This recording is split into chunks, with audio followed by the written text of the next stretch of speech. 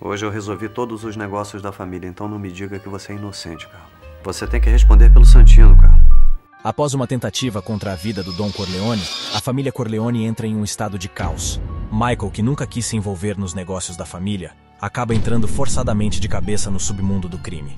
Michael acaba indo para a Sicília para evitar que o pior aconteça com ele. O impulsivo Santino Corleone assumiu os negócios da família em meio a uma guerra territorial com as famílias mafiosas rivais. O fim do Sony todos nós sabemos. E em meio a essa turbulência resta Michael descobrir a identidade do traidor.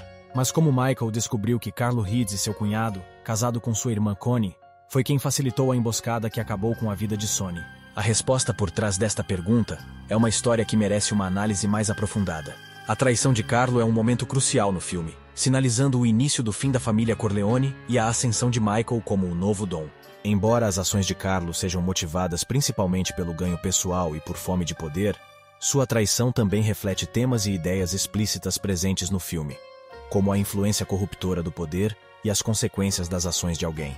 Até que ponto o homem é capaz de chegar para obter o que deseja, mesmo que custe a vida alheia? Mas por que Carlo resolveu trair a família?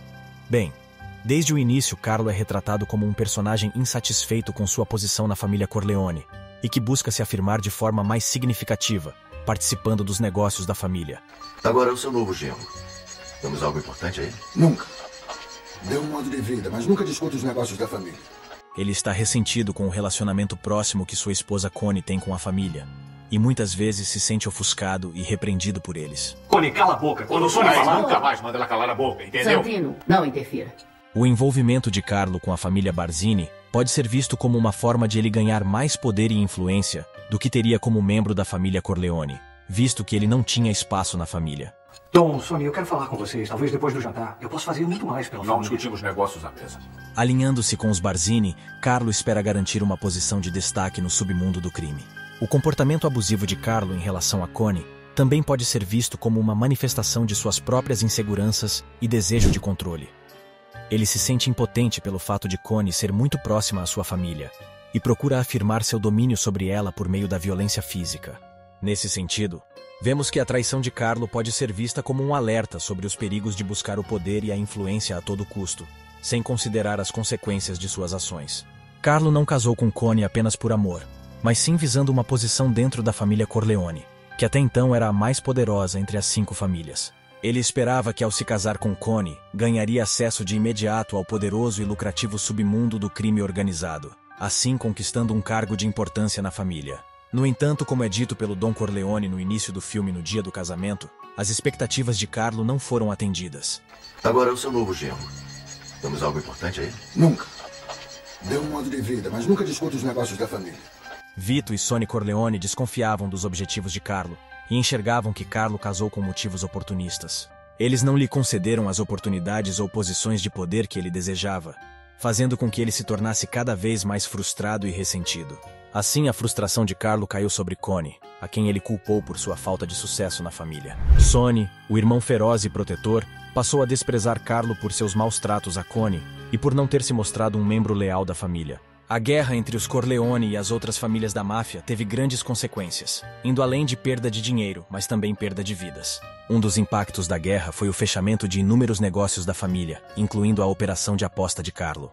Esta foi uma grande perda para Carlo, que contava com a renda de suas atividades ilegais com apostas. À medida que a guerra se arrastava e o lucro da família diminuía, Carlo começou a se ressentir ainda mais com Sony, pois ele tinha um papel principal no conflito.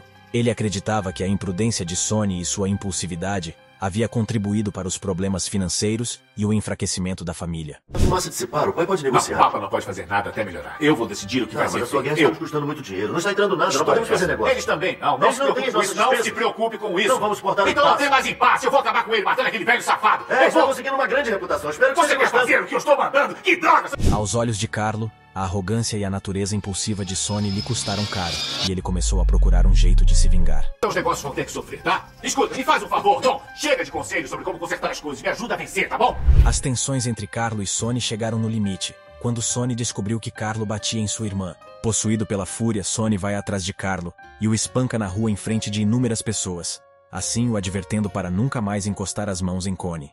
Este incidente foi a gota d'água para Carlo, que começou a preparar sua vingança. Carlo, desesperado e humilhado, foi abordado por Emílio Barzini, que lhe ofereceu proteção e apoio se caso ele o ajudasse a derrubar os Corleones. Barzini convenceu Carlo de que a única maneira de se vingar de Sony era atraindo Sony para uma emboscada que resultaria no seu fim. Mas como Michael descobriu sobre a traição de Carlo, Vito e Tom sabiam da existência de um traidor entre eles, e que Carlo parecia ser o maior suspeito. Isso fica claro no livro, quando Tom acalma Carlo dizendo que ninguém iria culpá-lo da briga com Connie ter causado o incidente com Sony. Tom claramente buscou deixar Carlo à vontade. Ele sabia que Carlo ficaria nervoso, pois todos estão de olho nele. Mas Tom sabia que precisava esperar para que Carlo fosse punido adequadamente. Para isso, Carlo teria que se sentir seguro e não causar mais problemas. E como Dom Corleone não queria vingar seu filho naquele momento, pois sabia que isso iria causar uma escala ainda maior da guerra entre as famílias. Ele esperou até se erguer e estar em uma boa posição para vingar seu filho. Eu abro mão de vingar o meu filho. Além disso, Vito não queria fazer sua filha sofrer e ainda ficar viúva. No entanto, quando Michael volta da Sicília, Dom Corleone começa a prepará-lo para assumir e planejar como eles iriam vingar Sony e retomar ao poder. Então, quando Michael assume o poder, ele começa a resolver todos os negócios da família. Hoje eu resolvi todos os negócios da família, então não me diga que você é inocente, Carlo. Ele soube por Tom tudo o que aconteceu enquanto ele estava na Sicília, e então Michael chegou à conclusão lógica de que Carlo havia armado para Sônia a emboscada, junto com o pessoal do Barzini. Sendo assim, quem foi o primeiro a suspeitar que Carlo tinha parte nisso, pois foi meticulosamente planejado. Onde os executores sabiam exatamente quando o Sony saiu de casa e sabiam por onde ele iria passar.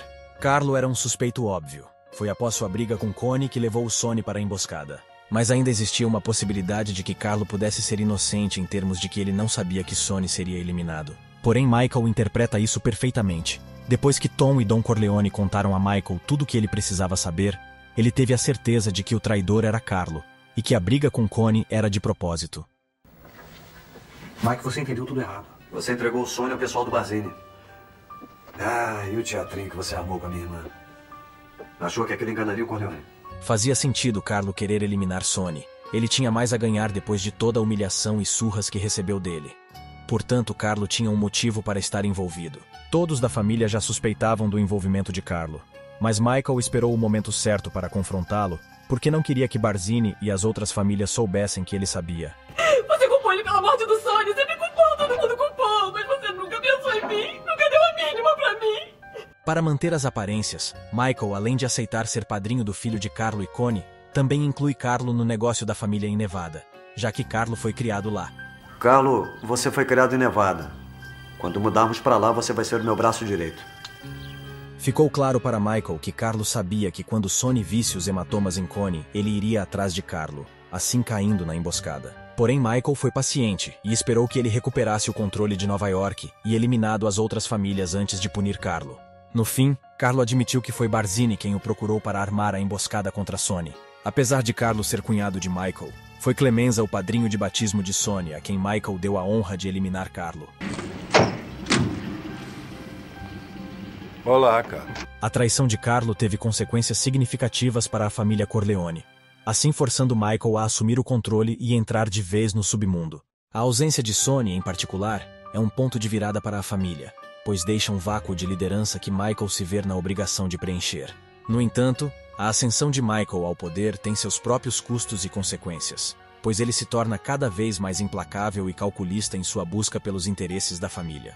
A traição de Carlo pode ser vista como um reflexo dos temas e ideias mais amplos presentes em O Poderoso Chefão.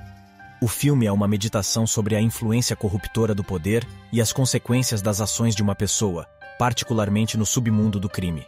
Os personagens do filme muitas vezes estão divididos entre a lealdade à família e seus próprios desejos pessoais de poder e controle, levando a conflitos e traições que acabam resultando em sua própria ruína. Gostou do vídeo? Não esquece de comentar o que você achou. E também compartilha com seu amigo que gosta da trilogia. Se inscreva no canal, ative as notificações e deixe seu like. Isso nos ajuda e nos incentiva a produzir mais vídeos. E obrigado por assistir até aqui.